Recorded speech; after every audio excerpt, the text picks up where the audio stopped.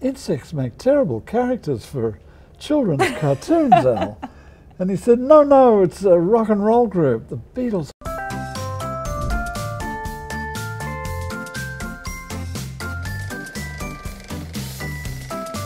This is a special year. 2018 marks the 50th anniversary of your work on the film Yellow Submarine and the Beatles cartoon. Taylor, I can't tell you how 50 years goes by. It just goes by so fast, you have to watch out for it, okay? It was a fun project for me. Uh, it was a surprise project. I had just arrived in America and I got a telephone call from Al Brodax saying, hey, we've got some production problems here, we need some help. So all I did on the Yellow Submarine was animate. We would receive the scenes from London, we would animate the scenes in pencil, and then we would ship all the pencil drawings back to London, and it was as simple as that. And at the same time as I was doing that, my wife was inconveniently pregnant, and as a result, I was a very hard-working young man. And I was uh, animating in the evenings also on uh, a show you might have heard of called George of the Jungle, and I was also working on the very first season of Scooby-Doo, Where Are You? So I was doing some significant stuff in my 28th year of life. Were you a Beatles fan when you started working on this project?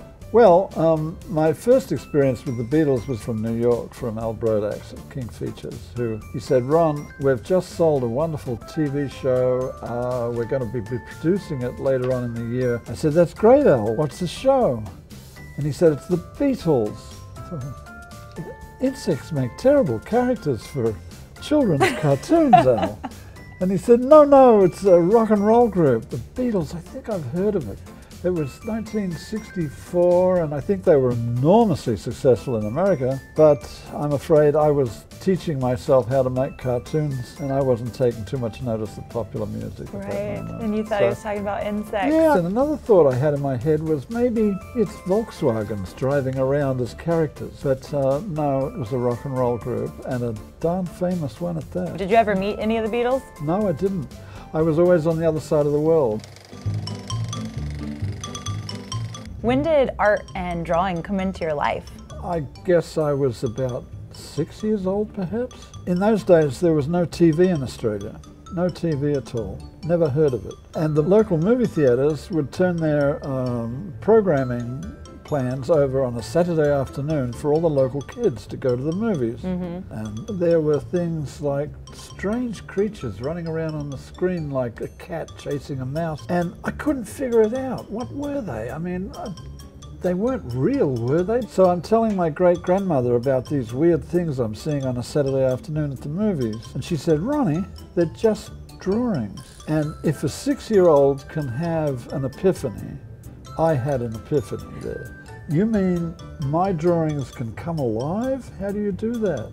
And I'm afraid I took that incredible feeling about my own drawings coming alive with me all through my childhood, refusing to become a policeman or a fireman or something sensible. And of course, in Australia with no TV, it was impossible to earn a living as an animator, but I didn't care. Then, when I went into art school, as luck would happen, television came to Australia and opened up, and for the first time, it was possible to earn a living as an animator. So I was right there on the leading edge of animation in Australia. Yeah. So when Al Brodax came in with um, projects, there I was, Johnny on the spot. La vie, life. What, what a fantastic the way it is, story. Yeah. All that serendipitous timing and everything yeah, worked out. Yeah, yeah. If, uh, if I'd been born 10 years earlier, it probably wouldn't have happened.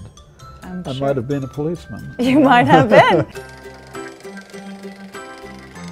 Give us a window into your work. You've worked on so many beloved shows and stories that we all remember so fondly. The first thing that comes to my mind when I think back is, gosh, I don't ever remember waking up in the morning and saying, damn, I've got to go to work. I always enjoyed what I did. I managed to produce my own TV show called The Big Blue Marble, which was a highlight of my life and very nicely found myself always working on shows that I really liked. What can you complain about if you spent 10 years of your life working on, say, The Rugrats? Mm -hmm. Okay, I mean, is there a more charming show one could be find oneself working. I don't think 10 so. That was a wonderful show. Another 10 years of my life primarily working on the Smurfs. I look back on my career as a screen cartoonist with much gratitude.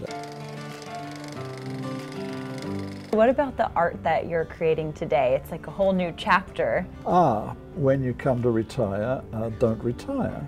Take a second act. After 50 years and one month to the day, I thought, I'm going to paint. But what do I paint? I'm not going to paint the cactuses in my back garden or the mountains off on the side. I'm going to do paintings based on the cartoon shows that I did. Lo and behold, people wanted to buy the damn things, you know.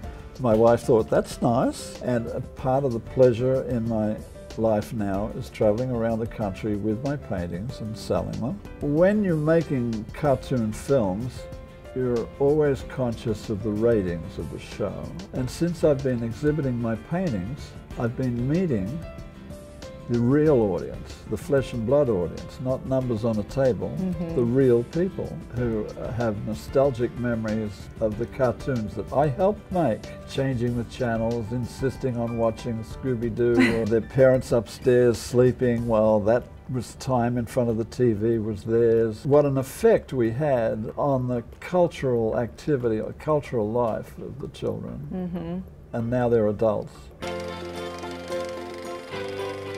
Can you pick a favorite show that you worked on? There's only one answer to that. You have six children. Which is your favorite? You know, it's not. It's not really possible. Is there a character you really enjoyed drawing and bringing to life? There was one show that irritated me. Um, uh, it was the Harlem Globetrotters, and the characters always had to do this with the ball. You know that. And so even when they're standing still, they're still bouncing this down ball, you know, and that was a pest, you know. Thank you for sharing your journey with us. Can we Oh, see some of your work in action over there? Yeah.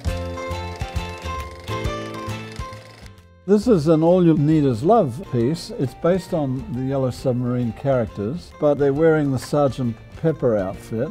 And there's a nice villain here, the Chief Blue Meanie, enigmatically laying across the word love. You have to have a palette with many little holes in it, and sometimes that's not even enough. I need a lot of colors. Yeah. So is this piece done? It will be done as soon as I sign it. For some reason, I color my signature and it takes me five minutes to sign anything at all, and it's a bit of a pest. it's something that I did once in front of a customer, and the customer jumped up and down with glee. And then I did it in front of another customer, and so now I have to sign my name in color every time I sign it. The finishing I touch on the piece, yes, absolutely. It's such an mm-hmm. honor to share this time with you. Thank you. Thank you, Taylor.